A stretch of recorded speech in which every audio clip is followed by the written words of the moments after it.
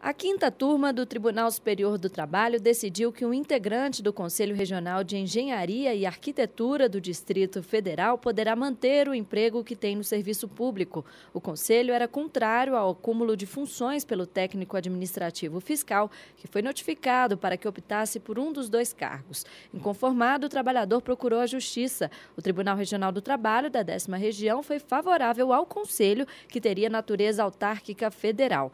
Mas para o Tribunal Tribunal Superior do Trabalho, as normas legais previstas para a administração interna das autarquias federais não se aplicam aos empregados dos conselhos fiscalizadores de profissão. O relator do processo, na quinta turma, ministro Emanuel Pereira, ressaltou que o TST tem reconhecido como especial a natureza de autarquias corporativas. Por isso, o técnico administrativo vai poder acumular funções no conselho e no serviço público.